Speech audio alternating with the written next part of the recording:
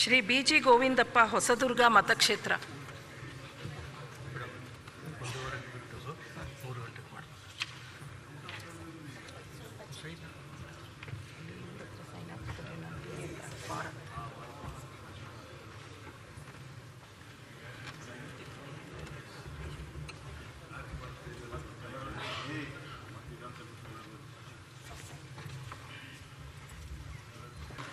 ನಿರ್ವಾಚನ ಹೊಂದಿದವನಾಗಿ ವಿಧಿದ್ವಾರ ಸ್ಥಾಪಿತವಾದ ಭಾರತದ ಸಂವಿಧಾನದ ವಿಷಯದಲ್ಲಿ ಶ್ರದ್ಧೆಯಿಂದಲೂ ನಿಷ್ಠೆಯಿಂದಲೂ ಕೂಡಿರುತ್ತೇನೆಂದು ನಾನು ಭಾರತದ ಪರಮಾಧಿಕಾರವನ್ನು ಮತ್ತು ಸಮಗ್ರತೆಯನ್ನು ಸಮರ್ಥಿಸುತ್ತೇನೆಂದು ನಾನು ಕೈ, ಈಗ ಕೈಗೊಳ್ಳಲಿರುವ ಕರ್ತವ್ಯವನ್ನು ಶ್ರದ್ಧಾಪೂರ್ವಕ ನಿರ್ವಹಿಸುತ್ತೇನೆಂದು ಭಗವಂತನ ಹೆಸರಿನ ಮೇಲೆ ಪ್ರಮಾಣ ಮಾಡುತ್ತೇನೆ. ಸತ್ಯ ನಿಶ್ಚಯದಿಂದ ಪ್ರತಿಜ್ಞೆ ಮಾಡುತ್ತೇನೆ.